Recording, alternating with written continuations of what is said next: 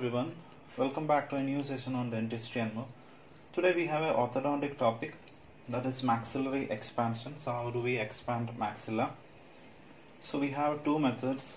One is slow and one is rapid. So two ways we can do the expansion of maxilla. So let's see what are the basic differences between slow maxillary expansion and rapid maxillary expansion. So we have nine parameters here.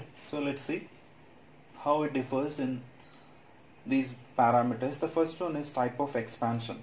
So in slow expansion is both skeletal and dental is happening from the beginning. That is in 1 is to 1 ratio. But whereas in rapid maxillary expansion it is mostly skeletal that is at the beginning period and later dental is coming. So it is like 8 is to 2 ratio. That is mostly a skeletal expansion is happening and the next one is rate of expansion. As the name suggests the rate of expansion is slow here and it is very rapid here. And the tissue retraction. Since it is a slow expansion the tissue retraction is more of physiologic in nature but it is a traumatic. It is traumatic to the tissue since we are applying very rapid forces a greater amount of force.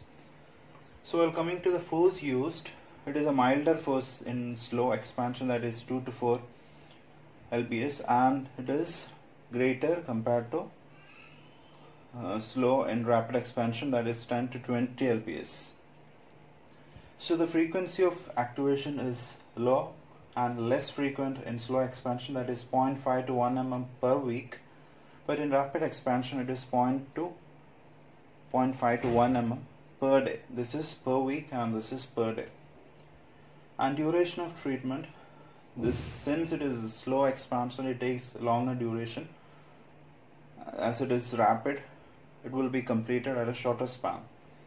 And type of appliances used in slow expansion mostly both can be used. That is fixed and removable appliances can be used. But in rapid expansion it's mostly fixed appliance.